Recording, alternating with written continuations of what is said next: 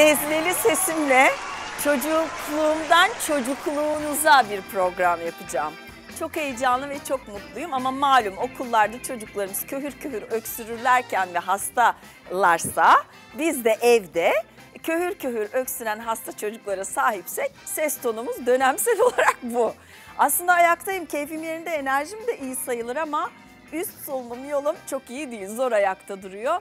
Kendimce bazı formüllerim var, onları uygulayarak atlatmaya çalışıyorum. Hepiniz bambaşka sohbetlere hoş geldiniz sevgili izleyicilerim. Dediğim gibi bugün çocuk ruhumdan çocuk ruhunuza sesleneceğim.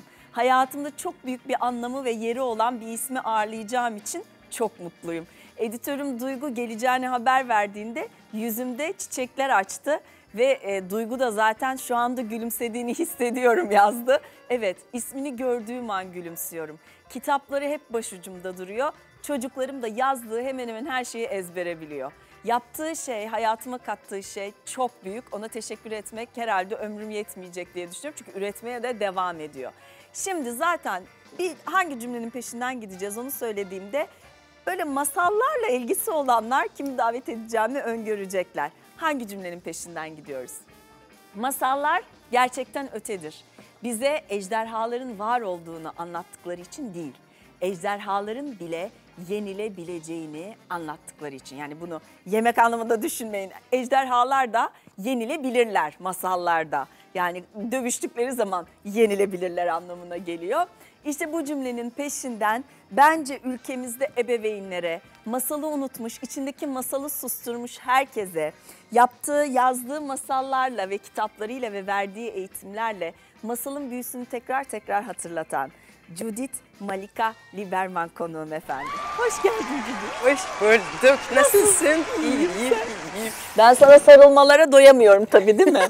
Gel lütfen. Teşekkür ederim. Yani çok mutluyum. Ay bir dakika serin suyumdan sana hemen. Bu serin su üzerine ne güzel masal yazarsın sen aslında. serin su masalı. Ya senle konuşurken böyle olan her şeyden bir masal çıkarmışçasına bir potansiyele sahip oluyorum. Gerçekten çok etkileniyorum meseleden. Denk gelebildiğimiz için çok mesudum. Ben de öyle gerçekten. Ee, çok mutluyum geldiğin için. Hoş geldin, sefalar getirdin. Hoş bulduk. İyiyim demek yasak. Nasılsın?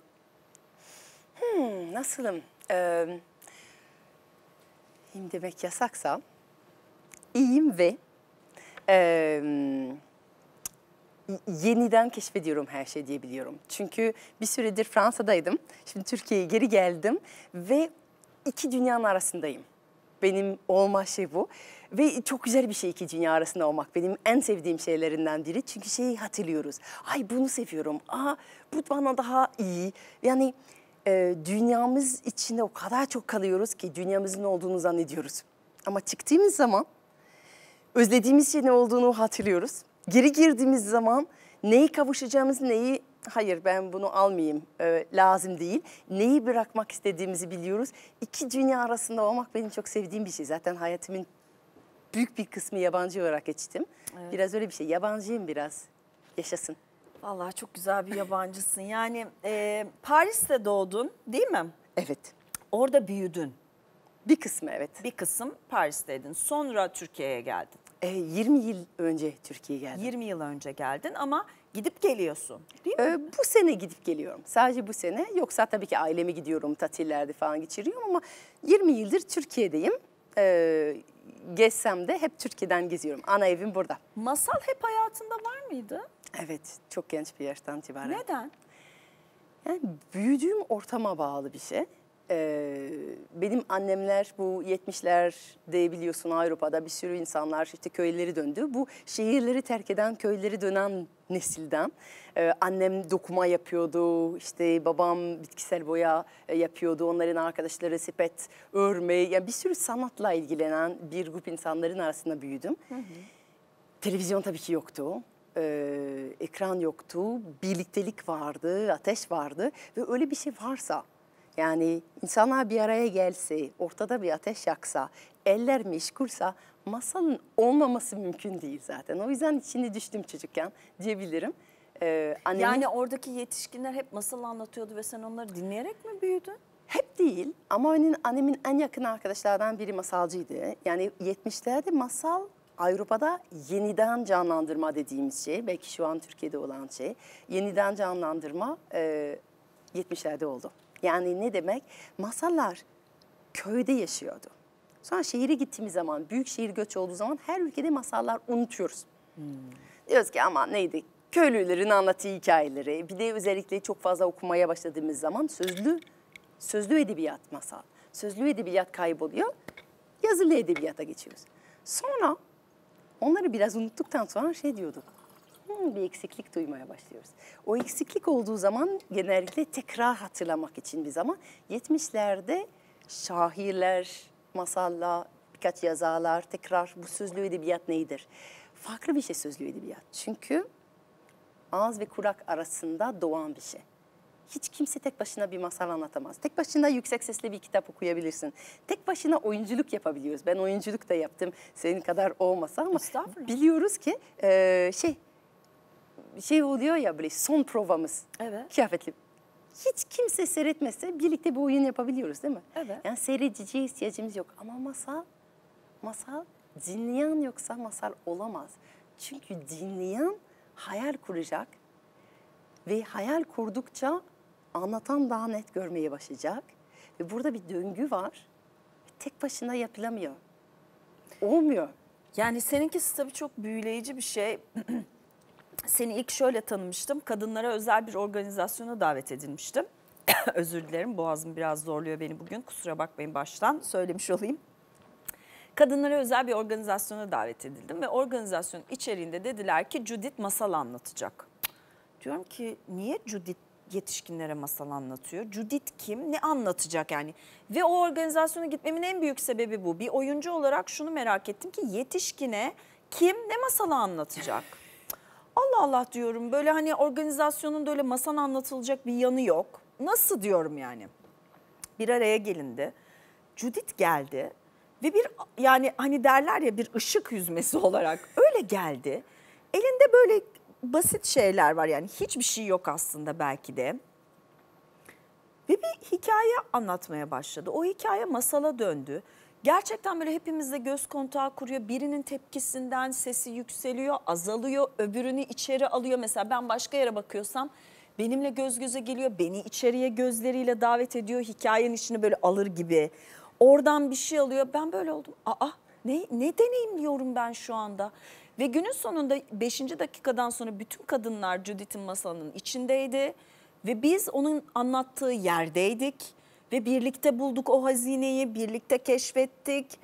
Ve ben uzun süre oradan çıkamadım. Masal bitti ama ben hala koltuğumda oturuyordum ve ben ne yaşadım arkadaş dedim yani. Ne güzel. Ee, nasıl beceriyorsun bunu? Başka bir insana bir şey anlatmak, ona bir şey hissettirme sanatı. Ve bunun püf noktası çok basit. Nasıl? Sen hissedersen onlar hissederler. Sen görürsen onlar görürler. Duyusal bir deneyim yaratmaya çalışıyoruz. Yani bizim olağanüstü bir gücümüz var insan olarak. Bu gücün adı hayal gücü. Şimdi biraz e, günümüzde irade gücü, idrak gücüye inanıyoruz ama hayal gücünün gerçekten bir güç olduğunu unuttuk. Bizim dünyamız biraz böyle hadi yap falan böyle anla yap gibi böyle çok sol beyin olduk. Ama sağ beynin gücü hayal gücü. İşte orada bir hissedebilme ve çok acayip bir şey. Yani biz burada olmayan bir balığa ağzımız sulanabilir. Yani ya da limondan bahsettiği zaman insanların ağzı sulanmıyor böyle hmm. ya da hissetmediğimiz bir acıyı hissedebiliyoruz. Yani böyle bir hikaye anlatırım. İşte derim ki ya böyle bir yatak kaldırmıştım. Sonra yatağa çat benim baş parmağının üstünde düşmüştük. Aa, falan. Ve senin böyle yüzün buruşuyor. Bazen başka insanların kazaları veya başlarına gelmiş olan acı veren deneyimleri duyduğumuz zaman şey yapmıyor muyuz? Ya da bazen bir kere bir kırmık girmişti benim tırnağın altında. Ve düşmüştüm çak bir odun üstüne böyle tam tırnağımın altına girmişti.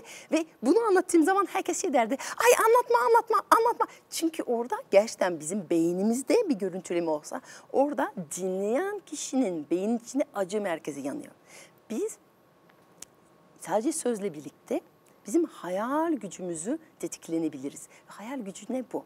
Bu inanılmaz bir güç. Şu ki burada olmayan bir şey tadabiliriz biz. Burada olmayan bir şey görebiliriz. burada olmayan bir şeyi üşüyebiliriz. Bir masal gecede e, bu masalda bir kutup ayı vardı ve bir kadın bu, bu adamın peşinde koşuyor. Sonra adam buzullara doğru koşuyor. Böyle gerçekten bir kar fırtına ortasındalar.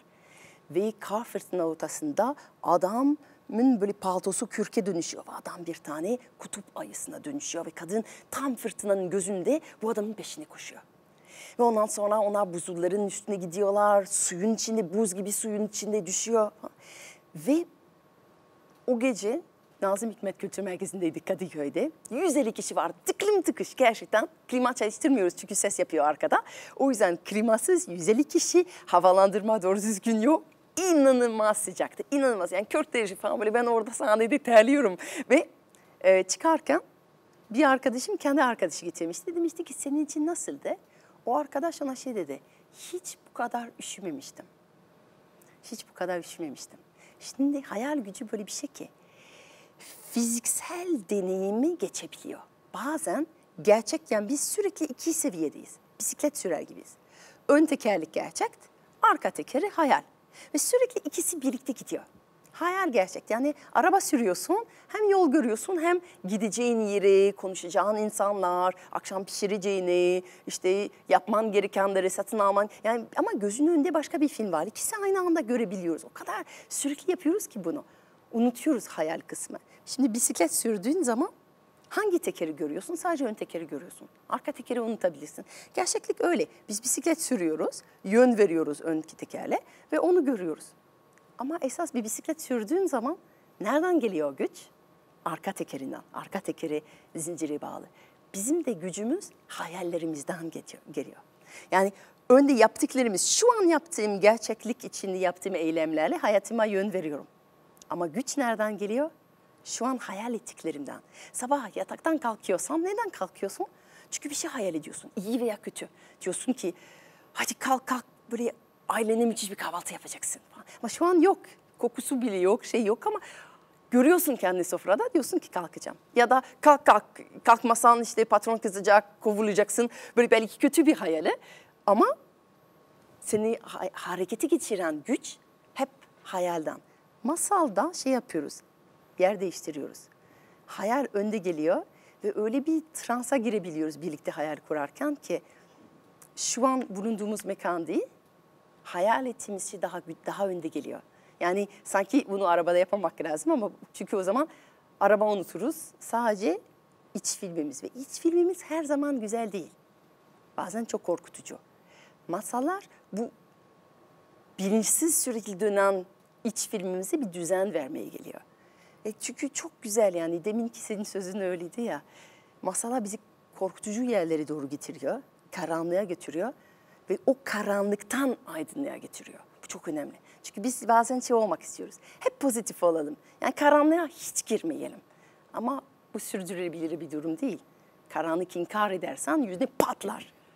O yüzden masalla birlikte iniyoruz o alt dünyalara. Terk edilme, karanlık ormanları, ejderhaları, korkularımızı, yetersizliğimizi, kıskançlıkları ona doğru iniyoruz. Ve oradan güç bulup tekrar aydınlığa gidiyoruz. Yani ejderhaları yenebileceğimizi öğreniyoruz. İşte karanlık ormanlardan, kaybolduğumuz karanlık ormanlardan yolumuz bulabildiğimizi hatırlatıyor. Ve o anlamında bize bir şey söylemiyor masal. Söylemiyor. Anlaşılacak bir şey söylemiyor. Bize bir şey hissettiriyor. Bir yolculuğa götürüyor. Evet sen bunu söylüyorsun. Masal bir şey dikte etmez ve öğretmez. Masal hissettirir diyorsun değil mi? Çok aynen. Ama E anlatana bağlı değil mi bu? Ya da Şöyle. biraz masalın yapısına. E şöyle eğer iki mod var. Söylemek ve anlatmak. Söylemek bilgi aktarmak bir şey. Ve bana bir şey söylersen ben bunu anlarım. Ama anlatmak, anlatmak bilgi aktarmak değil, hissiyat aktarmaktır.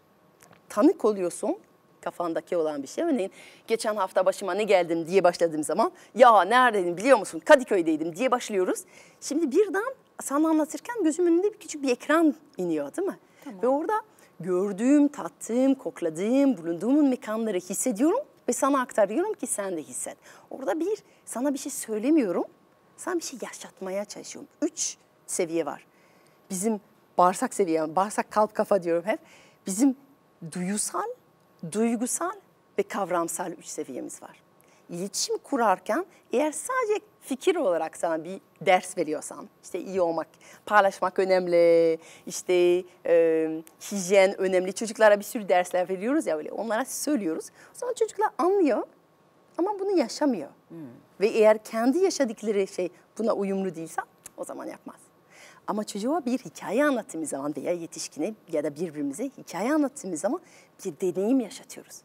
Ve de o deneyimin sonunda o kişi sadece bir şey düşünmüş değil, bir şey hissetmiş oluyor. Şimdi Judith öyle anlatıyorsun ki tabii içimden şöyle bir satır geçiyor. O zaman her öğretmen masal anlatmayı bilmeli, her anne baba masal anlatmayı bilmeli. Şimdi benim seninle olan tarihime bakarsak ben Judith'in kapısını ne zaman çaldım bunu da söylemek isterim. Ee, Ali biraz büyümeye başladı. Kitap değil benim söylediğim masalları duymak istedi. Ben hep ona kitap okuyordum her gece yatarken. Ee, kitap değil sen anlat dedi bana. Ve ben ilk gece Ali'ye hiçbir şey anlatamadım. Böyle kaldım yatakta. Bir varmış bir yokmuş. Deve tellal, tellal, pire, berber öyle miydi? Deve. Böyleyim ama yani. Başı nasıl başlıyordu? Anneannemin en sevdiğim masalı neydi? Maçe kuçe kadreçe. Nasıl başlıyordu falan. Böyle büyük bir bunalıma girdim. Aa dedim yok deneyimli değilim herhalde dedim. O hafta böyle bir sürü masal kitabı aldım. Birisi de Judith'in kitaplarından biriydi. Masal okudum deli gibi o hafta. Sonra haftaya bir daha gittim Ali'nin yanına uzandım. Gene yok arkadaş bir tane masal çıkmıyor benden. Dedim ki eyvah ben hayal gücümü kaybettim anlatamıyorum. Ki ben oyuncuyum nasıl anlatamıyorum ve Judith'in kapısını çaldım. Dedim ki içimdeki çocuğa bir şey oldu. Masal çıkmıyor benden. Ya okumak çok güzel, okuduğunu tartışmak ya da konuşmak güzel de ne yapacağız dedim. Bu noktada tekrar soruyorum. Bence bizi izleyen birçok seyirci için geçerli bu. E, bence hepimiz içimizdeki masal anlatıcıyı kaybettik ya da bir şekilde susmasına izin verdik. Bu nasıl olacak? Biz senin eğitimlerine mi katılacağız? Yok aslında. Ne olacak? Ne yapacağız? Aslında unutmadık. Ne oldu? Unutmadık. Masal anlatmaya belki unuttuk ama anlatmaya unutmadık. Ve zaten ne anlatıyorsan aynı sanat. Şimdi ne zaman hepimiz anlatıyoruz? Böyle ne zaman bir ortam kuruyoruz. Bir çay koyuyoruz ya da bir taze su. Tamam. Böyle gidiyoruz ve çok masalımsı bir soru soruyoruz birbirimize. Şey diyoruz ne var ne yok. Masallar nasıl başlar? Bir varmış bir yokmuş. Ne Biz var, diyoruz ne ki yok. ne var ne yok. Bu soru nasıl bir soru sence? Ne var ne yok. Aslında masallar bir varmış bir yokmuş. Ne demek? Hem gerçek hem hayal. Gerçek ve hayal. Demin bu bisikletten bahsediyordum ya. Önde gerçek sonra hayal. Onun birleştiren şey, sağ beyin sol beynin birleştiren. Yani ne var ne yok. Bir varmış bir yokmuş. Hem gerçek hem yalan. Masal bu. Masalcılar diyorlar ki ben yalancıyım diyorlar. Ama söylediğim her şey gerçekti. Yani bu ne? Var ve yok. Yani çok acayip yani orada zaten bizim kafamızı karıştırması çok güzel bir şey. Tekerlemeler diyorsun ya Evet. demin. Tekerlemeler ilk başta girmek için kafanı karıştıralım. Hangi kafanı karıştırıyoruz? Mantıklı tarafını karıştıralım. Çünkü mantıklı tarafı kendini patron zannediyor ya bizden. Ve sürekli bizim hayatımızı hissetmemizi bir engel oluyor. Yani sen düşün böyle. Ama ilk başta masalar şey diyorlar. İşte develer berberken ya da de, de- pardon develer tellalken. Evet pireler berber. bir pireler berberken. Yani niye en olmayacak şey? Yani develerin sesi bir de biliyorsun. annemin beşiğini tıngır Annemin be yani aa, zaman denilen şey annemin beşi olamaz diyor mantıklı tarafın. Ama hayal kuran tarafın diyor ki ya olursa. Yani tekerlemelerde masalcı şey diyor. Ben bindim karıncaya aldım deve kucağımda. Ah nasıl? Attım bir ceviz bitti anında bir ağaç çıktı. Yani o ağacın başın üstünde bir avuç dolu toprak attım. Oğlu verdi bir tarla. Öylesine ben toprak sahibi oldum. Tarlama dediler ki sen buğday ek dediler. Başka biri dedi ki karpuz ek. Ben karpuz ektim. Bu tarla, bu ağacın başındaki olan tarla. Bir karpuz verdi, bir karpuz verdi. Bir deve taşıyamadı. Bir adam geldi. Bana bir karpuz versene dedi. Verdim. Bir ordu ye- yedi, yarısı kaldı. Ee, dedim ki ben de ben de bu bu karpuzlardan biraz yesem mi dedim. Aldım çakımı, çaktım karpuz içinde. Çakımı içinde kaçıverdi. Elimle aradım, bulamadım. Gözümle baktım, göremedim. Yapacak bir şey yok. Girdim karpuz içinde. Şimdi orada devam ediyor ama Ben vallahi akşama kadar dinledim. dinleyebilir ya. O kadar Şimdi- etkileniyorum ki. şey oluyor. Mantık tarafımız size diyor ki na mümkün, na mümkün. Bizim mantık tarafı zaten sürekli hayatımızı çok sinirli tutuyor ya. Na mümkün. Ama orada bizim zihnin gözü. Zihnin gözü, İngilizce öyle diyorlar, the mind eye. Yani zihinle birlikte görebilme, bizim zihnin gözü diyor ki, ha sana mantıklı, na mümkün diyorsun da ben görüyorum. Na mümkün diyorsun ama ben karpuz içine girdim.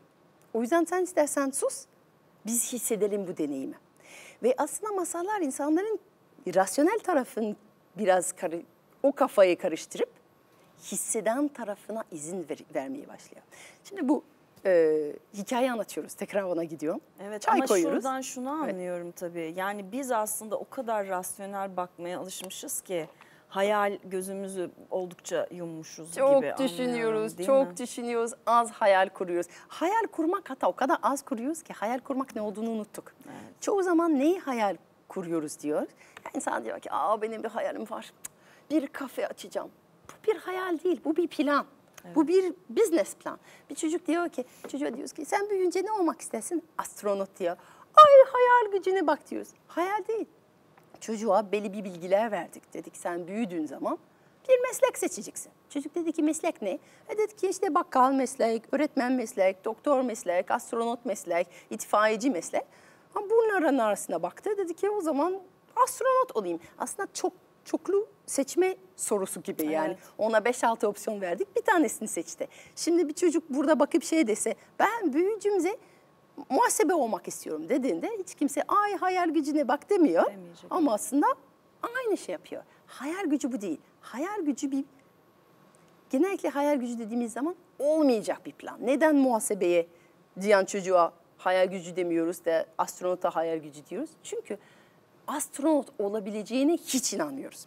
O yüzden bir insan bir plan kurarsa ama bu plan imkansız o zaman ona hayal gücü diyoruz. Yani şimdi Çok iyi anladım. bir insan diyorsa ki ya ben yani işsizim, param yok ama yarın Bodrum'da bir villa alacağım dese yani deriz ki ne kadar güzel hayallerin var.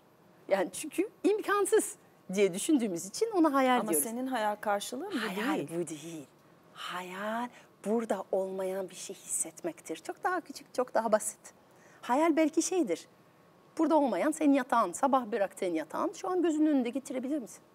Sadece görmek değil de sadece renkleri işte dağınık mı bıraktın işte içinde kedi mi vardı çocuk mu vardı? Sadece bu değil kokusunu alabilir misin? Çarşafların dokusunu e, hissedebiliyor musun? Yastığın hafifliğini hissedebiliyor musun? Bütün bunları yani hem burada olup hem teninle burnunla böyle gözünle bütün bedenini Beş yatak duyumu. 25 değil aslında. Bizim duyularımız çok daha fazla. Kimisi 25 diyor, kimisi 35, kimisi Gerçekten 50 diyor. Yani senin duyum sayabilmek için olan araçlar örneğin yani 5 duyu bizim aslında duyudan ne kadar çok kopmuş olduğunu gösteriyor. Hmm. Çünkü yani olay çok basit bir şey indirgedik. Örneğin şu an hiç bakmadan bacakların nerede olduğunu biliyorsun değil mi ayakların? Hı hı. Ama onlara bakmıyorsun. E onları dokunmuyorsun. Nereden biliyorsun? Propriosepsiyon denen bir duyu var. Sana uzuvların ve bedenin şu an hangi pozisyonda olduğunu gösteriyor. Ee, ya da e, bir şeyin sıcak veya soğuk olduğunu, yani bu duyu aslında dokunma dört ayrı duyu. Sıcak, soğuk, kaşınma, e, ağırlık, tenimizle, ellerimizle sezebildiklerimizi. Ama şey de var örneğin, e, duymak bir duyu ama bir ses hangi yönden geldiğini duymak ayrı bir duyu aslında, yön olarak. Ya da acıktığını nereden biliyorsun? Dokunuyor musun? Hayır. Biliyor musun? Hayır. Hissediyorsun. Karnına başka bir duyu. Susadığın ayrı bir duyu. duyu. Hapşıracak üzerinde olduğunu ayrı bir duyu. Aslında biz bir hissetme yani duyum, duyumsama makineyiz. Ve bu duyularla hayal bu. Burada olmayan bir şey hissedebilmek. Ama basit gibi görünüyor. O kadar önemli ki.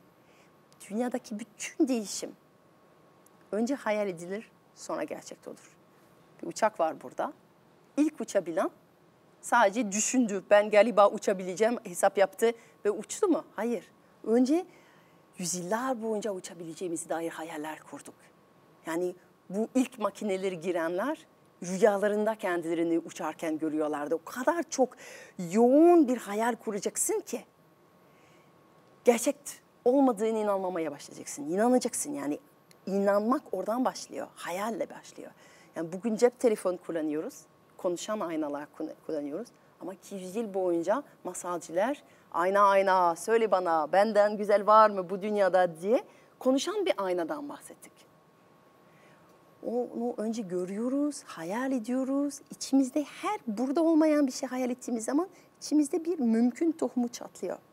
Ta ki bir gün o kadar çok insan bir şeye inanıyor ki onu var ediyoruz. Önce hayal, sonra gerçekti. Peki ortaya bir çay koyduk Judith. ne oldu sonra? O. Ha evet. On, oradaydık değil mi? Evet merak ediyorum. Şimdi ortaya bir çay koyduk ve anlatıyoruz değil mi? Hepimiz anlatıyoruz. Diyoruz ki Aa, geçen hafta ne oldu? Ve sürekli aslında sohbet ederken arkadaşlarımızla hikaye anlatan yani anlatmak ve söylemek arasında git gel yapıyoruz. Evet. Yani bir küçük bir hikaye. Aa, anneme ne dedim? Hatta o kadar iyi hikaye anlatıcıyız ki. Hikayeler doğaçlama, metin yok. Ve herkese farklı anlatıyoruz. Aynı olay işte eve gidiyorsun, kocana başka anlatıyorsun, çocuğuna başka anlatıyorsun, annene başka anlatıyorsun. İşte birlikte çay içtiğin insanlara başka anlatıyoruz. Dil yani zamana bağlı daha fazla ayrıntı, daha az ayrıntı, dilimiz, yorumlarımız kişiye göre değiştiriyoruz. Anlatıcı bu. Anlatıcı dinleyiciye bakıyor ve diyor ki ben belli bir hikayemiz var, belli bir yolculuğumuz var. Ama sana biraz daha balandıra balandıra, sana biraz daha profesyonel işte e, sana bu ayrıntı veririm, sana şu ayrıntı veririm. Hmm. Yani değiştiriyoruz. Bunu yapmaya biliyoruz. Sadece şey unuttuk. Masallar da öyle olduğunu unuttuk. Masalları artık nerede tanıştık? Kitapta tanıştık. Evet. Zorlandığımız şey anlatmak değil, zorlandığımız şey yazılı bir şey anlatmak. Çünkü iki ayrı kelime türü var. Kalem ve kağıt arasında doğan kelimeler var. Yaz, yazı dünyadan, yazı edebiyat. Bir de ağız ve kurak arasında doğan şey var. Şimdi sana bir hikaye anlatsam veya gün boyunca sürekli birbirimize hikaye anlatıyoruz. Anında geri anlatmıyor muyuz? Evet. Çok kolay çünkü bize doğru medium içine girdi, doğru şekli. O yüzden sen bana komik bir hikaye anlatıyorsun. Ay geçen hafta pazardaydım, bunu yaptım, başıma neler geldi, o falan. Ben de Aa, akşam eve gidiyorum, ah biliyor musun Ceydan'ın başına ne geldi diye aynı hiç zorlanmadan anlatabilirim. Şimdi o yüzden sen gelip bana bir masal anlatsan akşam aynı şekilde anlatabiliriz. Zorlandığımız şey yazılı bir metin tekrar. Yani bu tekrar sözlüğe çevirmek. Ama mesela yattım ben oğlumla akşam hiçbir şey gelmiyor aklıma. Ne bize niye gelmiyor ve ne yardımcı oluyor bize? Bir sürü, Orada evet. ne ne gerekiyor bir bana? Bir kere şey unutmak gerekiyor. Okuduğumuz bütün kitaplar unutmamız gerekiyor. Ha. Neden? Çünkü şey şimdi eğer şimdi sözlü doğaçlama olarak anlatacağın hikaye kitap içinde okuduğun hikayeleri kıyaslayacaksan mümkün değil. Yani kitap yazan, böyle üstünde düşündüğü, çalıştı. Yani biz doğaçlama. Doğaçlama bir şey yapacağız. O yüzden farklı akacak. Farklı bir lezzet olacak. İşte oradan başlayabiliriz. Bugün ne yaşadım? Yani ben örneğin çocuklara çok faydalı bir hikaye anlatma şekli şu ki. Otur ve çocuğun günü tekrar yaşatmak gerekiyor. Bu çok önemli bir şey. Hmm. Yani hayatımız onu yaşarken değil, anlatırken şekillendiriyoruz. Çocuklara bu konuda yardım etmemiz gerekiyor. Ve o yüzden akşam geldiğimizde şey bir karakter yarattık diye bir papağan karakteri ama bugün çocuğun ne yaptı? Okula mı gitti? Papağan da okula gitti biliyor musun? Çocuğun ne oldu? Bir şey mi unutmuştu giderken? O zaman bugün yani düşün bugün çocuğumun yaşadıkların hakkında neler biliyorum veya neler tahmin ediyorum. Hmm. Sonra bunu işte bu papağan ne bir okula gider? ormanda. Papağanlar niye gidiyorlar? İşte bir kere işte meyvelerin tatları öğrenmeleri gerekiyor. Nasıl şey yapacaklar? İşte hangi meyveleri seçecekler? Bir de tabii ki onlar konuşuyorlar aralarında. İşte dil öğreniyorlar. Yabancı papağanlar geldiği zaman farklı dilleri öğrenmeleri gerekiyor. Yani ondan sonra içinde çocuğun başına gelen şeyleri ör. Senin başına gelen şeyleri ör. Onun annesi yaşadığı şey seninki olsun biraz farklı, biraz aynı, biraz var, biraz yok arasında. Ve birden göreceksin ki aslında bugün ne yaptım dediğimde bir sürü şeyler biliyorum. Acayip olağanüstü bir şey gelmiş olması gerektiğine inanıyoruz. Yalan. Sevdiğimiz hikayeler bize benzeyen şeyler. Yani bir, bu papağan anlattığımız zaman bile papağan okula gidecek. Yani illa falan böyle bir Kaftanı aç, aşıp ejderha bulması. Evet olması bir de orni- ornitolojik bir ders olması gerekmiyor. Gerçekten papanlar hakkında bir bilgi edinmeye çalışmıyoruz. Orada bir oyun belki küçük bir tavşan. Küçük çocuklara direkt anlatmamak için arada bir hayvan koymak. O yüzden en küçük çocuklara hayvanlı hikayeler çok anlatıyoruz. İşte böyle insan gibi davranan tavşanlar insan. Çünkü bir mesafeye ihtiyacımız var. Ne yaşadığımızı anlamak için bir alana ihtiyacımız var. Kendimize uzaktan baktığımız zaman ha yaşadığım bu, bu küçük tavşan bunu yapıyor. Çocuklar, küçük çocuklar hayvanların hikayeleri. Sonra 6 yaştan itibaren işte belki başka bir çocuk mu başka bir adı olan bir çocuk olabilir. Belki başka bir yerde yaşayan. Ama çok benzer hikayeler. Çünkü şeye bayılıyoruz. Bir şey yaşıyoruz, üstüne düşünmüyoruz. Sonra biri geliyor, bir şey anlatıyor, biz diyoruz ki, ay bende, ay bende. Ancak arkadaşım anlattığı zaman benim başıma gelen şeyi idrak ediyorum, anlıyorum, ton düşüyor aslında. Buna ihtiyacımız var. O yüzden çocuğumuza hikaye nasıl biteceğini bilmeden belki yola atılabiliriz. Ama zaten en basit hikaye nedir? Bir gün başlar ve akşam yattığı zaman biter. Küçük çocuklara anlattığımız bütün hikayeler yatmakla bitiyor değil mi? Evet. Yani o yüzden şey biliyoruz. İşte bir sabah bizim bir karakter var. Ee, diyelim bir papağan. İşte bu sabah kalktı, neler yaptı. Çocuğu da kata- kat- katabiliyor. Ve o kadar mutlu olacak çocuk. Çünkü şu an birlikte ne yapıyoruz? Oyun oynuyoruz. Annemin de haritası yok. Fikirlerimi alabiliyor. Evet. Ee, katkılarım sayılıyor. Yani benim bir fikrim varsa bisikletle mi gitse? Evet bugün bisikletle gitti diyebiliriz. Hayatımdan bir şeyler var ama aynı zamanda biraz farklı. Ve çok basit bir şey ama burada bazı anneler bana diyor ki ama yüksek edebiyat yapmıyorum. İyi de birlikte hissetmek maksat. Ve aslında yüksek edebiyat da buradan geliyor. Bazen çok fikir yani yüksek edebiyat yapacağım derken çok fikir dünyasından giriyoruz. Ders, şeyi falan. Orada sadece yolculuk. Göreceksin bunu yaparken diyorsun tamam ben iddiasız bir hikaye anlatacağım. Bir karakterim var, sabah kalkacak, akşam yatacak ve çocuğumun hayatına çok benzer bir şey yaşayacak ama sadece bir yağmur ormanda yaşayan bir papağan olacak. Tek farkı olacak derken bir göreceksin ki şaşırırsın. Bir de kaygın bir şey öğretmek olmayacak diyorsun galiba Oo, yok değil yok mi? evet. Sana ayırdığım defterimin sayfasına. Aa, arkadaşlar kalemimi açamadım. Heh. Güzel bir iki satır yazar mısın? Seninle Aa, tabii seve ki program masal gibi aktı geçti. o kadar çok soru hazırlamıştık aslında Duygu'yla ama e, sen son iki satırını yazarken hayatımızı yaşarken değil onu anlatırken yaşıyoruz demiş Judith. Ben çok etkilenmiştim bu satırından. Duygu da yakalamış o cümleyi. Ve anlatmazsan unutursun. Çok önemli değil mi? Anlatmazsan unutursun evet. Evet. Çok önemli. Ve anlatırken anlarsın başına neler geldiğini. Anlatırken anlarsın başına Evet. neler geldiğini. Bizim e, önce hayal kitabı gerçekten en favori kitaplarımdan biri Judith'in. Yola Çık son kitabı. Tabii benim oğlumla favorim Taş Çorbası. Şarkısıyla birlikte evde biz sürekli taş çorbası. Olsun. Çok teşekkür ederim. Rica ederim. Çok sağ ol. Sen anlat biz dinlemeye devam edelim Judith. Gerçekten o kadar kıymetli bir şey yapıyorsun ki bir masal iyi gelir de benim başucu kitaplarımdan biri. Ee, hep böyle çok e, duygu sıkışmaları yaşadığımda mutlaka aradan açıp okuyorum.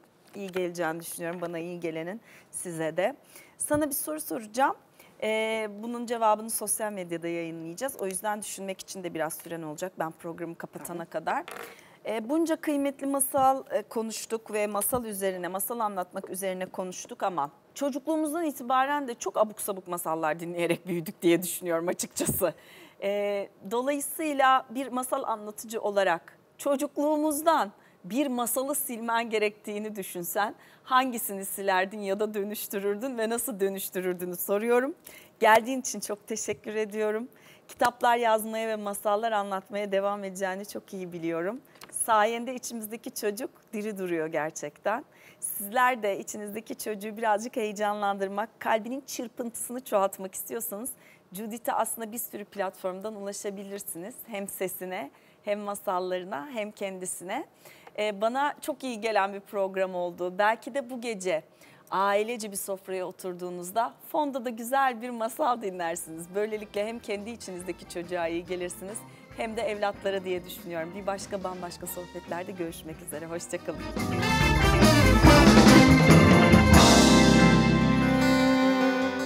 İçimdeki çocuğu masallarıyla hep coşkulu tutan, aslında bilmese bile benim masal kahramanım olan Judith konuğumdu bugün. Hayal gücünün hayat planlarından ne kadar farklı olduğunu bir kez daha hatırlattı bize.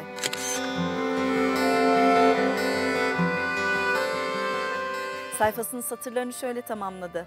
Masallara inan, onları anlat.